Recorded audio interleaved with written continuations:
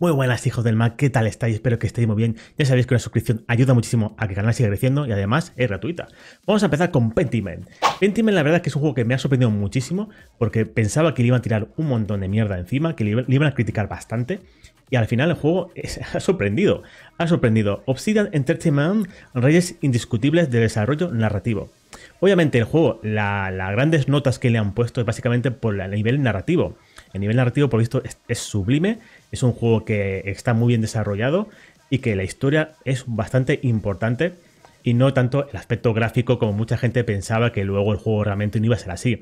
Eh, yo recuerdo cuando salió que la gente eh, lo criticó muchísimo, incluso se, llegó a pensar que el juego no era así, que, que, era una broma y que era una especie de teaser y que luego el juego saldría pues con sus gráficos como toca, hiperrealistas y tal sobre todo viniendo de Obsidian. Hay que decir que el juego no es un triple A, ¿vale? Es un, juego, indie que está desarrollado por 13 personas, sí, 13 personas.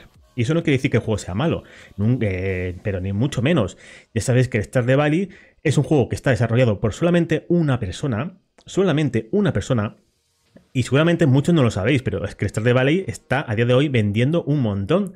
Y es un juego que solo se hizo con una persona, así que son 13 personas en este caso y el juego está ambientado en el Sacro Imperio Germánico del siglo XVI. Es un juego para mí único, ¿no? Son estos juegos de nicho y se trata en este caso de descubrir quién ha matado a una persona, ¿vale? Es un asesinato que ocurre y eh, hay que descubrir quién ha sido, ¿no? La verdad que me ha sorprendido mucho los análisis que, que, hablan de, digamos, obra maestra a nivel narrativo, repito, a nivel narrativo, porque el juego obviamente no tiene gráficos hiperrealistas, ni incluso diría que es mm, gráficamente se parece a un juego indie al uso, ¿no?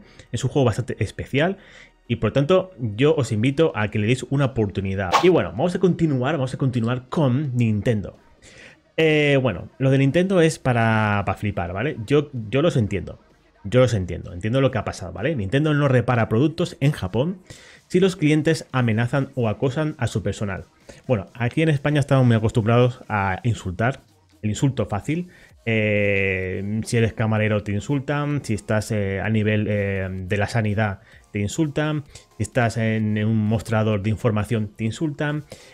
aquí en España es muy fácil insultar y que no haya ningún tipo de repercusión. Ojo, sí que está penado. Y sí que tú lo puedes denunciar cuando alguien te, insulta por la calle, tú lo puedes denunciar, pero realmente no lo hacemos, ¿no? Porque al final, a nivel eh, burocrático, es muy, muy jaleo y tienes que, que, irte de abogados y una cosa y otra, y al final no lo haces, ¿vale? Pero sí que es verdad que somos del insulto fácil y nos da igual todo, ¿no? Pero allí en Japón, ya sabes que Nintendo es muy eh, conservadora, eh, siempre lo ha sido, es muy hermética y sobre todo en los dos últimos años a raíz de la pandemia se ha vuelto aún más hermética. En todo, en información de videojuegos, en información de nuevos proyectos, eh, en información de movimientos, ¿no? A nivel administrativo, ¿no? Eh, y en este caso, al final no ha aguantado más y ha explotado, ¿no? Y lo que pasa es que, se ha visto, la gente está amenazando a los que están eh, reparando las consolas. Lo están amenazando. de hecho, lo están siguiendo en sus redes sociales a nivel personal. Eh, y es un gran problema, ¿no? Porque ya sabes que hay gente que, bueno, que, hay para todo, ¿no? Hay gente que está muy de la cabeza, eh, que puede llegar a hacer locuras, y luego que es una presión continua hacia el trabajador que está ahí, el pobre, eh, reparando tu consola, ¿no? Entonces, yo entiendo que Nintendo haya dicho, mira, hasta aquí. Ya estamos hasta el gorro de, todo este jaleo, ¿vale? Y yo creo que al final se tiene que hacer como una, especie de ley, ¿no? Porque allí, por ejemplo, lo que es el territorio nipón, eh, no, no hay una ley que diga o que proteja al trabajador ante una amenaza, ¿no? Aquí en España sí que es verdad que sí que la hay y no hace mucho que, la pusieron, pero sí que es verdad que hay una ley que, protege, ¿vale? Al trabajador o a esa persona que está ahí eh, dando un servicio y que tú, como persona, eh, le estás insultando, ¿no? Y bueno, ya sabéis, en tema de invasión de la privacidad, eh, comentarios insultantes o denigrantes, intimidación o amenazas. Más empresas deberían hacer lo mismo porque hay mucho hater, mm, hay mucha gente con, que tiene la boca muy suelta y esto hay que pararlo ya, la verdad. Continuamos con Evil West, confirma su reducción frame rate, frame rate y requisitos en todas las plataformas. Vale, este juego, que está teniendo muchas expectativas, para mí me parece como un, un, yes, ¿no? Y la verdad que me parece que está muy bien gráficamente, es muy gore, es muy gore. Hay muchas, em, mucha acción, muchos enemigos en pantalla y tal. Pero sí que es verdad que el juego, eh, en este caso, ha habido o sea, ha salido la noticia y si fuera por eso ya está. Pues mira, sale el juego, el día, el día 22 de noviembre sale el juego, para Play 4, Play 5, bueno, Xbox One, Xbox Series X, S y PC, ¿no? Hasta, hasta, ahí todo bien, ¿no? Pero ¿cuál ha sido la polémica? De que el frame rate, ¿vale? Por lo visto, por lo visto, eh, en las demás consolas te dan diferentes tipos de opciones, ¿no? El tema de que, bueno, pues que puedes ponerlo a 1080 y 30 FPS, o 1080 y a 60, o puedes ponerlo a 4K y a 30, ¿vale? Y hasta ahí todo muy bien, ¿no?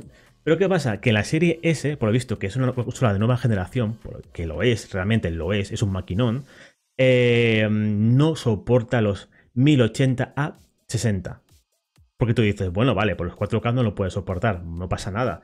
Si me dices que los 1080 van a 60 frames por segundo, pues de, lujo, ¿no? Pero no. En este caso, dentro de todas las opciones que dejan en, en PlayStation 4 Pro en Play 5 y en Xbox eh, Serie X, eh, la Serie S tiene las mismas opciones que la Xbox One o que la PlayStation 4. Es decir, tiene los mismos requisitos que la anterior generación. ¿Y qué pasa? Que esto ha, bueno, pues ha, dado mucho revuelo a que vaya, madre mía, Serie X es un lastre. Ya os digo que con el tiempo, si no el tiempo al tiempo, saldrá la noticia diciendo otra vez lo mismo, ¿no? Lo de Xbox Serie S es un lastre para las compañías es un lastre para la generación y no lo es, ¿vale? Básicamente yo creo que el juego aún está bien optimizado para la serie S y han dicho, mira, pues sacamos una versión para la Play 4 y que sea la misma para la serie S. Pero sinceramente el juego yo estoy casi seguro que con un poco más de optimización el juego en la serie S seguramente podrá ir a 1080 a 60 frames por segundo. En este caso no, es posible y solamente las consolas últimas de, última generación eh, pues PlayStation 5 y Serie X, que son las más potentes, eh, a pesar de que la Serie S sí que es de nueva generación, pues eh, son las únicas que realmente van a poder aprovechar los 4K a 30 y los 1080 a 60 frames por segundo. Bueno, ya veremos en qué, queda esto. Y si al final sacan un parche, que yo no lo dudo, porque últimamente no sé qué está pasando, que están sacando juegos de última generación que van a 30 frames por segundo. y yo a veces pienso, ¿realmente las consolas están preparadas ¿O realmente las nuevas consolas de nueva generación realmente son de nueva generación? ¿O son una actualización camuflada como nueva generación? Porque, no sé, tengo mis dudas, ¿no? Es como que parece que han querido que nos compremos que si la Play 5, que si la Xbox Series X, y al final resulta que no son tan potentes como nos han vendido todo este tiempo, ¿no? En plan, guau, son unos consolones y me da la sensación de que al final es como todo un, poco trapicheo, como todo un engaño, ¿no? En plan, pues al final parece que no son tan potentes como nos querían hacer ver, ¿no?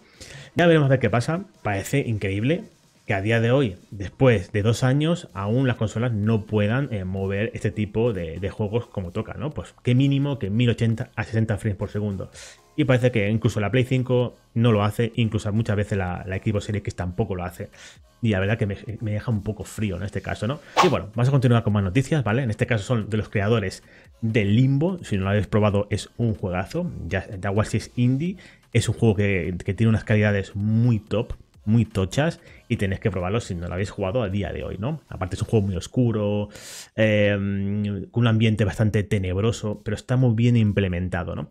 Pues estos chicos son los mismos que han hecho eh, Somerville, Somerville, y bueno, os comento, así están siendo las primeras notas de Somerville, disponible mañana en Xbox Game Pass. Ya sabéis que este juego está disponible mañana en Game Pass y eh, tenéis que probarlo, ¿vale? Tenéis que probarlo. Yo ya os digo que este juego Em, me trae un poco así, un poco de cabeza, ¿no? Porque yo lo he visto y lo estoy esperando para jugar y gráficamente me llama bastante la atención.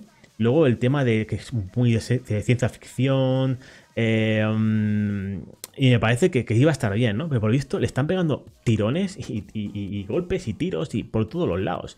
Es que a nivel gráfico está muy bien hecho, muy bien recreado, en la ambientación de ciencia ficción eh, está muy bien hecho, pero, ¿qué falla en este caso? Lo mismo como Painting en sí funcionaba en el nivel narrativo y la historia, en este caso es todo lo contrario, ¿no? Es como el antagonista de Pentiment, ¿no? Es Somerville, por visto, falla lo que es en la historia. Una historia que por visto no engancha. Aún así, hay que decir que se ha llevado muy buenas notas Ha llevado muy buenas notas. Y bueno, eh, habrá que darle una, oportunidad, habrá que darle otra oportunidad, igual que Pentiment parece que de entrada no llama la atención, pero este juego sí que te llama la atención de entrada, pero por visto la historia no es lo suficientemente eh, eh, llamativa, ¿no? Aún así se ha llevado un 77% en Metacritic, ¿vale? Y bueno, en The Gamer un 90, en Game Informer un 80, en Mondo Xbox un 79, en IGN un 70, bueno.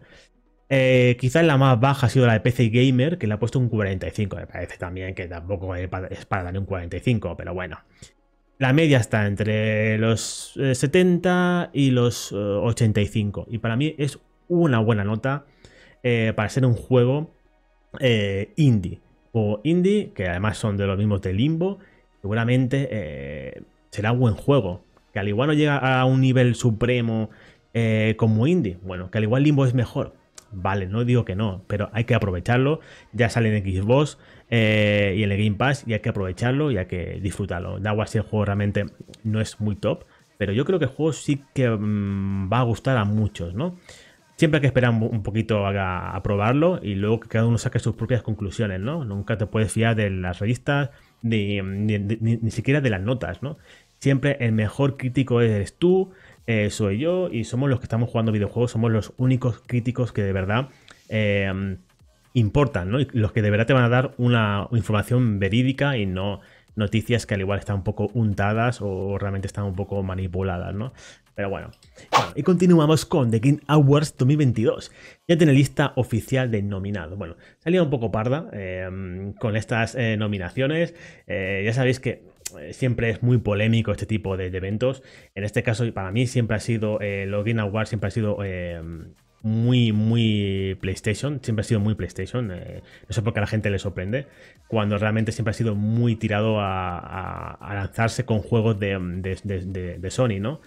Eh, así que bueno, que eso no quiere decir que sea malo, ¿no? Pero sí que es verdad que, estos premios siempre han sido mucho más mirando a Sony que no tanto a Nintendo o, Xbox.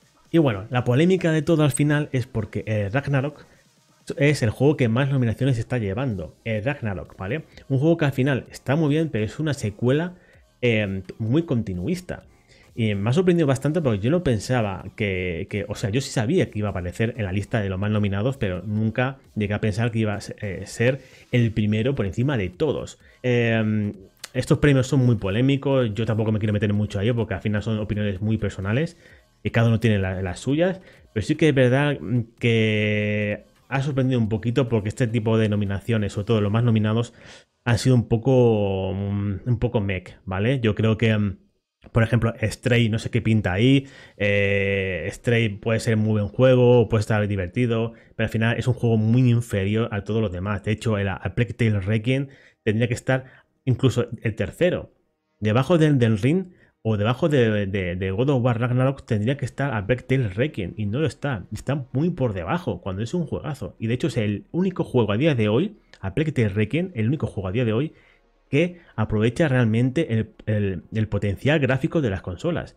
Que tú lo juegas y te das cuenta que es un juego de nueva generación, fotorrealismo por todos los lados, y es una pasada. Pero no, solamente le han dado 5 nominaciones. La verdad que, mm, me sorprende mucho eh, este año la lista que ha salido. Siempre, ya os digo, siempre sé que, y siempre he visto que siempre han salido muchos juegos de, Sony. Eh, entonces, pues bueno, vale, ya, ya, lo sabes, ¿no? Pero la lista de este año, eh, la verdad que es increíble. De hecho, el COD no sé qué hace ahí, porque que el modo Warfare 2 aparezca ahí un juego que es anual, que siempre es lo mismo, que sí, que el modo campaña estará muy bien, pero ¿qué hace ahí? La verdad es que me he quedado un poco flipando. Así que nada, chicos, muchas gracias por estar por ahí. Nos vemos en un siguiente vídeo y a cuidarse, ¿vale? Venga, chao.